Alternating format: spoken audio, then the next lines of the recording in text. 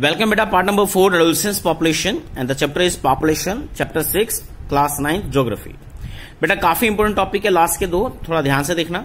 The most significant feature of the Indian population is the size of adolescence population अब देखिए बेटा India आने वाले टाइम में लोग कहते हैं, बहुत ज़्यादा पूरे वर्ल्ड को उम्मीद है इससे। और उसका लॉजिक ये है कि यहाँ एडोलसेंस पॉपुलेशन बढ़ती जा रही है। वर्किंग में जो कन्वर्ट होगी, और इंडिया शायद आने वाले 20-30 साल में बहुत अच्छा डेवलप कंट्रीज़ में काउंट होगा।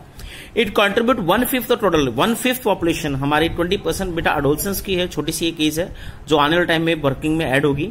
Adolescence are generally group in age ten to 19 year इसको नोट करना टेन टू 19 ये टेंथ में पूछा गया एनटीएससी में बेटा।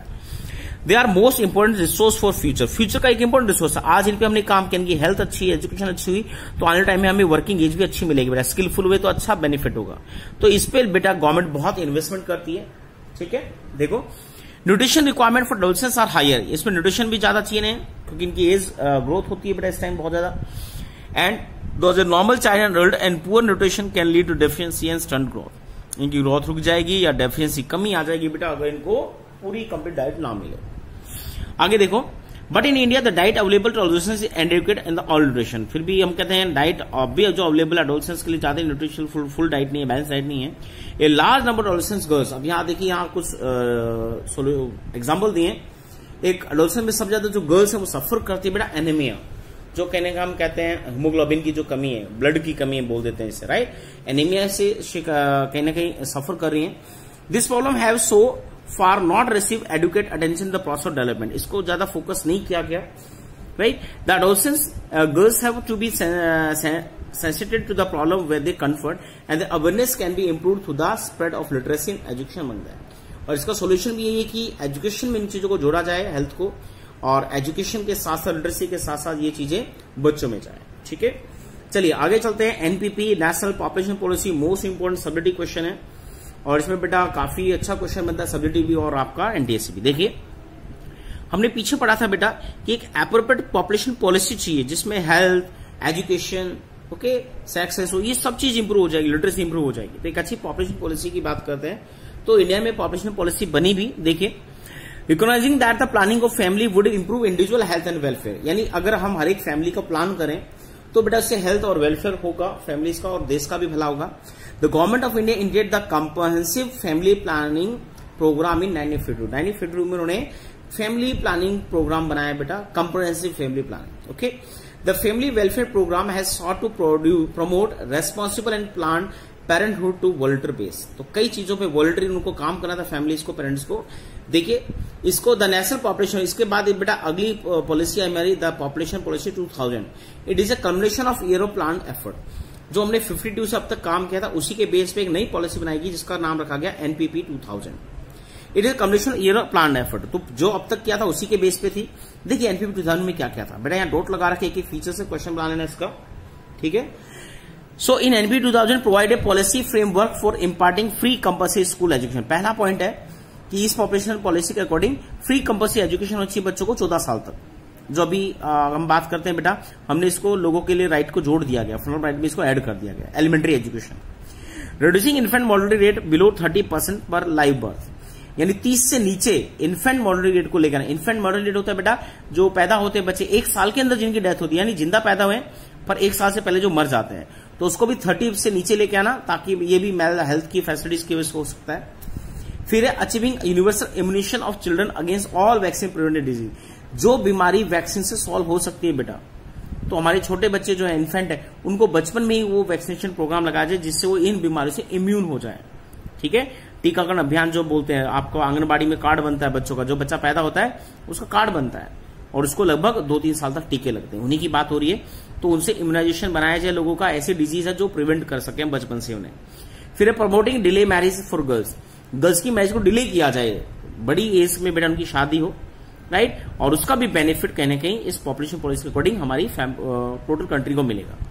फिर making family welfare programme people centre programme family welfare को पीपल सेंटर बनाया गया कि लोग खुद डिसीज़न लोग खुद समझे इस चीज़ को। अब आते हैं एनपी एडोलसेंस तो एडोलसेंस हमने बात की थी बेटा? टेन टू नाइनटीन एज है, जो बहुत यूथ होती है, बहुत तेज़ी से ग्रोथ होती है, उसके लिए भी पॉपुलेशन पॉलिसी में कुछ स्पेसिफिक पॉइंट है। फटाफट इस पॉइंट को नोट करना बेटा। NPP two identified adolescence as one of the major section of the population that need greater attention को बहुत अटेंशन चाहिए, क्योंकि एक ऐसी एज है बेटा, जहाँ से हमारा फ्यूचर देश का डिसाइड होता है। Beside notation requirement the policy put together emphasis on the important need of adolescent. Adolescent की जो नीड है, उन पे भी इन्हें फोकस किया है। First point including protection from the unwanted pregnancy and sexual transmit disease STD आपने बायो में पढ़ा होगा बेटा, बहुत सी डिज़ीज़ सेक्सुअली ट्रांसमिट होती है, उनकी बच्चों को नॉलेज हो अनवांटेड प्रेगनेंसी से बच सके। ये एजुकेशन बच्चों को स्कूल में दी जाए, ये पॉपुलेशन पॉलिसी के अंडर है।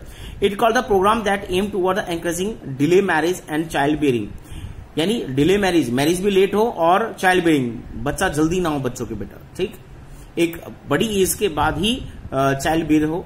और उससे कहने की हमारी जो आने वाली पॉपुलेशन है वो हेल्थी होती है राइट और जो डिले मैरिज होगी तो उस बच्चे को पढ़ने को मिलेगा।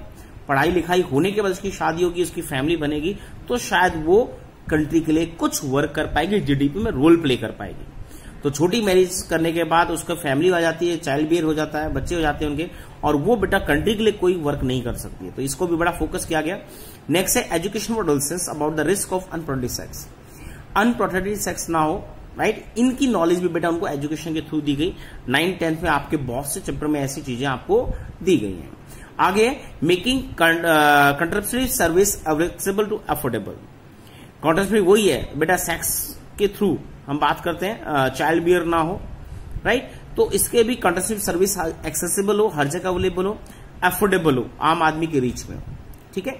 प्रोवाइडिंग फ़ूड सप्लीमेंट ये भी है बेटा फ़ूड सप्लीमेंट में, क्योंकि न्यूट्रिशन सर्विस हमने पीछे न्यूट्रिशन भी अभी बैलेंस डाइट अभी नहीं बेटा सेंस और ग्रोथ बहुत तेज से होती है इस टाइम तो उनको अच्छा फ़ूड सप्लीमेंट मिला, इसके लिए भी बेटा इसमें प्रोविज़न दिया गया। Strengthening legal measure to prevent child marriage child marriage से बचने के लिए भी लीगल मेजर्स बनाए गए, कानून बनाए गए, जिससे अगर ऐसा होता है, कोई फोर्सफुली भी अगर चाइल्ड मैरिज करता है, उसको सजा मिले। लास्ट है people are the nation most valuable resource note करना बेटा सबसे इंपॉर्टेंट रिसोर्स हमारे लिए पीपल है ह्यूमन रिसोर्स सबसे इंपॉर्टेंट बताया था नेचुरल या हम कैसे मैनमेड रिसोर्स सब बेटा ह्यूमन पे बेस्ड है। तो human is a most valuable resource a well educated healthy population provide potential power और हमारी जो पॉपुलेशन है वो एजुकेटेड होगी हेल्थी होगी, इसमें एक वर्ड और ऐड कर देता हूँ स्किलफुल होगी। आजकल स्किल इंडिया का जमाना है बेटा। स्किलफुल होगी। तो बेटा हमारे लिए पोटेंशियल पावर बनेगी। आने वाले फ्यूचर में देश डेवलप होगा पॉपुलेशन के साथ साथ वो हमारा जड़ीबी में रोल प्ले कर पाएगा, कुछ वर्क करेगा। ठीक है? चलिए बेटा, यही ये टॉपिक ओवर होता है बेटा आपका। और छोटी सी एक्सरसाइज दी है, इसको कर लेना प्लीज़ ज़्यादा टिपिकल नहीं है। एमसीक्यू है और कुछ क्वेश्चन है। ठीक है? वैसे इनका असाइनमेंट भेज दूँगा आपको। और अभी आपका वर्क बचता है बेटा सेंसस 2011 आपको मिलेगा। उसके बेस पे मैप भी आपको ड्रॉ करना पड़ेगा इसका। ठीक है? और अच्छे क्वेश्चन बनाने हैं। उसमें टॉप स्टेट्स और टॉप टेरिटरीज और bottom states and bottom territories आपको नोट करने होंगे। ठीक है? इज़ क्लियर थैंक यू बेटा।